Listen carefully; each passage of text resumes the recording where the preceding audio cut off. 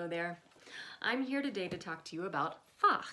So no, that's not a curse word for those of you that aren't in the classical music world. Just really quickly, all it is is a German classification system that classifies different voice types. This is mostly for opera roles, um, and it's based on factors like range, which is how high and low you sing, and tessitura, which is where your voice most comfortably lies. Um, you might have heard of the four major Fachs, which are soprano, um, typically the highest female voice, mezzo-soprano, the low female voice, tenor, the high male voice, and um, baritone bass, the low male voice. So I want to talk to you a little bit about um, my journey and things I've learned about Fach. So you might, um, some of you, a lot of you guys already know that I started out as a soprano and was a soprano until quite recently, and now I am a mezzo soprano.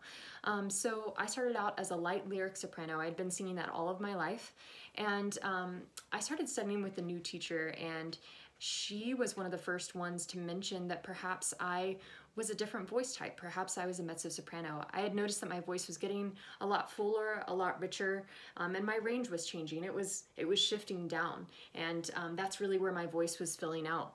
So um, I I heard her, but I I didn't really um, heed her words because that just seemed like a ridiculous switch to make um, in my 30s.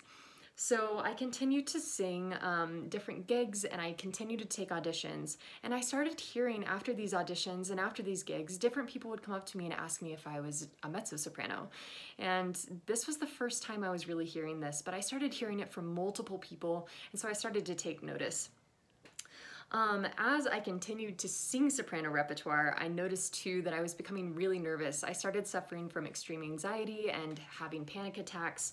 Um, but there was a real, it felt very uncomfortable, but there was also a real fear of switching Fachs. I was afraid of what people would think of me because um, I had been singing um, soprano for the past 30 years, so I didn't want people thinking that I didn't know what I was doing, especially since I was just starting my, my doctorate. I should know things by now, right? And, um, and also I didn't want people to think that I was giving up, switching from a higher to a lower Fach. Um, so I asked my teacher if she was okay with me taking sample lessons with um, different coaches and teachers that I trusted just to get kind of some second opinions. And thankfully she said yes. And so I did take some lessons and um, everyone unanimously agreed that mezzo-soprano would be a good fit for me. It was really surprising, um, but as I started to think about it, it made a lot of sense. Mezzo-sopranos typically sing um, what are called pants roles, which are roles um, for women, written for women, but they're male ro roles. They're played, uh, the, these women play young men and young boys. And I'm quite tall and I'm also on the less curvy side, so those kind of roles make a lot of sense for me.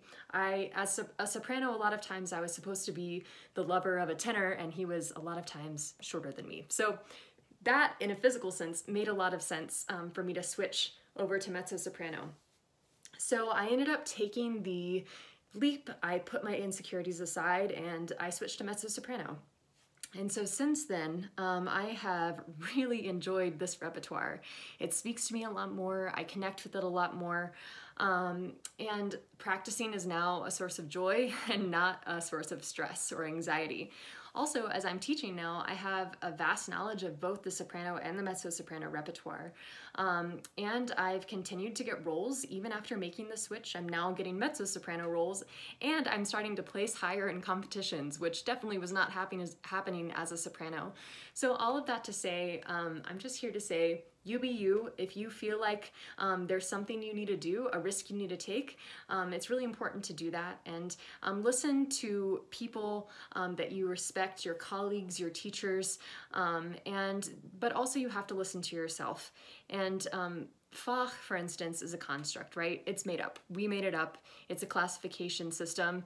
And so there were all of these insecurities that, that I was struggling with switching, but really it's all made up. So it's it's been really freeing for me to realize that. Um, and I've learned a lot these past two years since I switched to mezzo soprano. And I just want to encourage you to um, listen to yourself and um, listen to what makes you feel like you.